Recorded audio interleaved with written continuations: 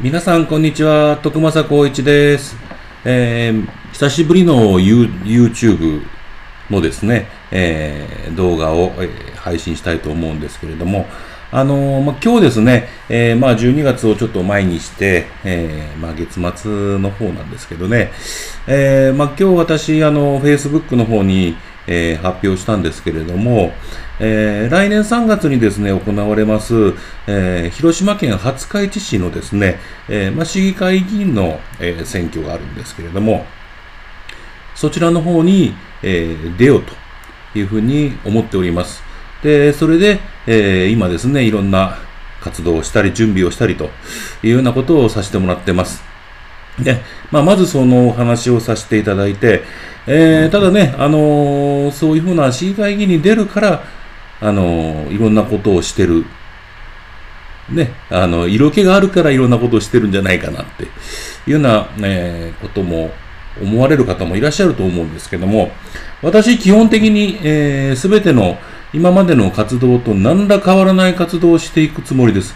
あのーまあ、これは、あの例えばゴミ拾い一つとってもそうです。あの、これはもう自分がしたくてやってることです。ね、えーこれはもう一切変えるつもりはありません。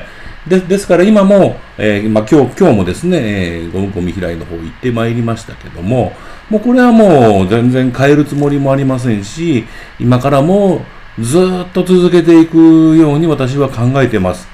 これはもう例えば来年であろうが再来年であろうが、まあ、そういったことをですね、えーは、えーやめずにずっとやっていかなければ、これ何の効果もありませんし、何の意味もありません。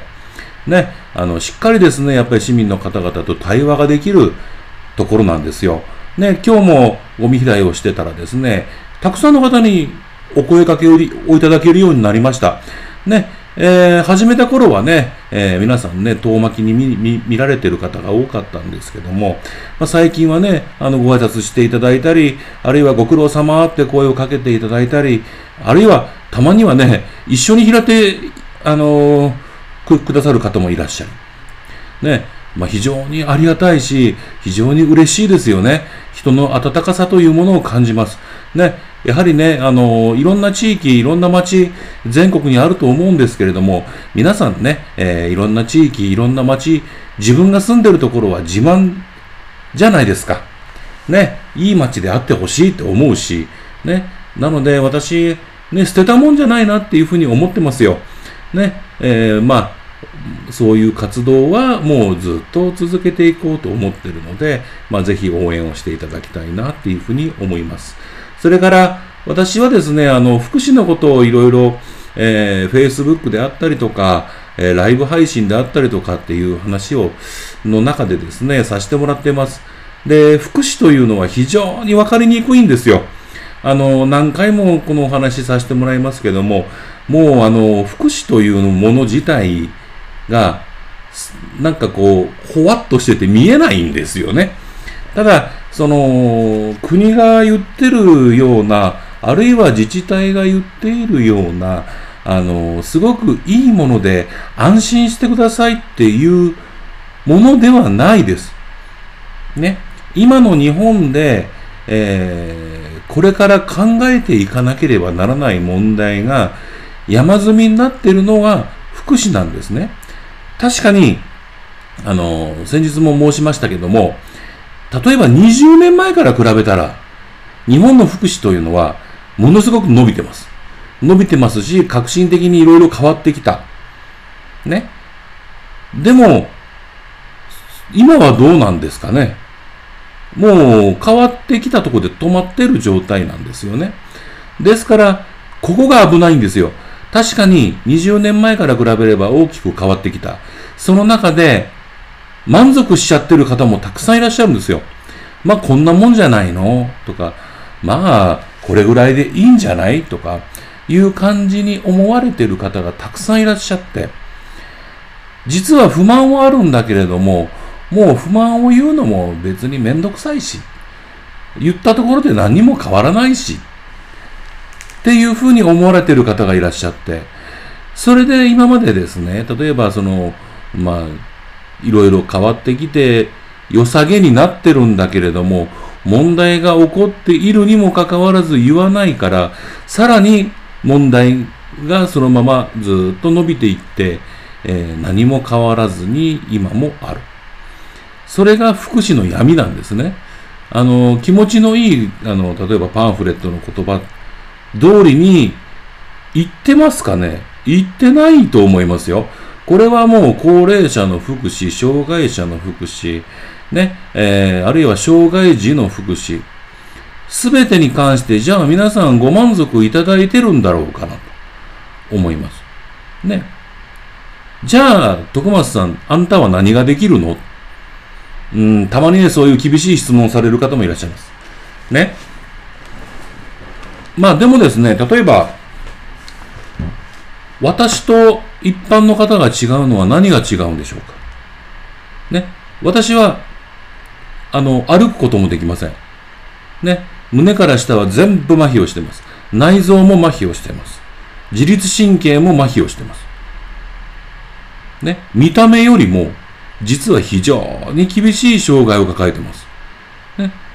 そういう人間が見ている目線の福祉と、一般の健康な方が見ている福祉、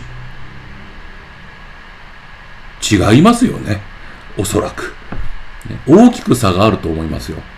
だから、一般の方ではほとんど見えることができない問題点というのは、私はたくさん知っています。ね。この問題点をしっかり精査した上で、廿日市にとって何が一番重要で、どうするべきなのかというのを、皆さんと話し合って、皆さんのご意見を聞きながら、それをぶつけていく。それができるのは誰なのかというと、すいません、私です。はい。車椅子の目線、あるいは障害者の目線、福祉を受けている、福祉制度でですね、えヘルパーとか、ね、え介護職の方々の力も借りながら生活をしています。で、命をかかった生活をしています。そういう人間たちが、あの、に支えられて私はあるんですね。で、そういうふうな目線で物事を見て、問題点を探して、それに対して的確な判断と的確な意見、これを言えることができるのは、今私しかいないというふうに私は自負しております。ね、それができるのが大きな差なんですね。だから、政策上、今あなたがマニフェストで何がありますかって言われても、はっきり言います。あの、一般的な皆さんが書いてるマニフェストぐらいしか持ってません。ね。未来の街を良くしようとか、ね、福祉を良くしようとか、いうぐらいのものしかないですよ。ね。でも、今からやっていくべきことはは見えています。ね。だから、もし私が議場に上がった時にはそういったことをどんどんぶつけられるようなことをしていかないといけない。それが私の使命だというふうに思っていますので、まあ、ぜひですね、えー、そういった形で私も、えー、ある決意を持って政治の世界に飛び込もうとしております。ね、えー、ただね、私も、まあ、こういう体です。あの、できないこともたくさんあるんですよ。まあね、これはね、あの、いろんな仲間であったり、えー、友達であったり、ね、えー、皆さんのお力を借りながらですね、あの、お手伝いをしていただきながら、今私も支えられております。なので、えー、ぜひですね、また皆さんもですね、声をかけていただいたり、はね、あの、お手伝いをしていただいたり、えー、いうようなこともお願いするかもしれません。でもぜひですね、えー、よろしくお願いしたいというふうに思います。ね。で、まあ今日もですね、えー、まあさっき、えー、ゴミ拾いをしてきたという話をしたんですけども、えー、とですね、ちょっと最近、ゴミの 内容が変わってきたというかですね、タバコが異常に増えましたね。はい。どうしてなんですかね。始めた頃に比べると、タバコのポイ捨てというのが異常に増えてます。もう毎日拾っていても感じますね。で、あとは、マスクが異常に増えてます。ゴミとして。ね。考えてくださいよ。以前は、マスクは手に入らない高級なもので、使い捨てマスクを水で洗って干して使ってた、ですよね。これが何月頃ですか ?3 月とか4月とか、あの辺じゃなかったですかね？もうマスクが手に入らねななくてですね、えー、ハンカチでマスクを作るとかですね、いろんなことを皆さん工夫してされたと思うんですね。それがですね、もう手に入るようになった。それ、そうしたときに、一番感染リスクの高いものを捨てていく。ね、タバコもそうですよ。ね、タバコも口に加えてるわけですから、ね、これは私が移りたいとかって言うんじゃなくて、考えてくださいね。道路に落ちているものは、目線の低い人から見たときに、近くに見えるわけですよ。ね？私が何が言いたいかというと、小さい子供さんが手に取って触る可能性が高い。です、ですよ。ね？下に落ちてるもので、あの、ちょっと綺麗げなものがあれば、触ってしまう。で、そういう光景を目にしたことがあります。それと、タバコの吸い殻ですけど、今ね、犬を飼ってる人多いと思います。ワンコちゃん飼ってる人多いです。うちも2匹います。ね、散歩中にですね、タバコの吸い殻を口に入れて中毒を起こして死にましたっていう話というのは非常に多いんですよ。ね。あのー、これは道路に落ちてなければ、その小さな命はなくならずに済むわけです。でも、それが起こってしまう。それは落ちてるからです。ね。コロナがどうのこうのっていう話をしてるんじゃないんですよ。で、これが仮に人間の赤赤ちゃんだったらどう、どうですかねちっちゃい子供さんだったら。口にもし入れた場合に。親御さんがそれに気がつかなかったらどうなりますか中毒を起こしちゃいますよ。ね。なので、このね、私思うんです。あの、よく魚つの釣り場で、糸くずのゴミに鳥が引っかかって死んでいるとか、ありますよね。で、人間も足が引っかかってこけちゃったっていう話もよくあるんです。私も魚釣りをずっとしてましたし、魚釣りの釣り場のゴミ拾いもずっとしてました。糸くずのゴミというのは非常に日本は多いんです。もうぐちゃぐちゃになって捨ててあります。ね、非常に怖いですね。で、それからまあ海岸なんかはね、いろんなプラスチックゴミとかがですね、漂着する。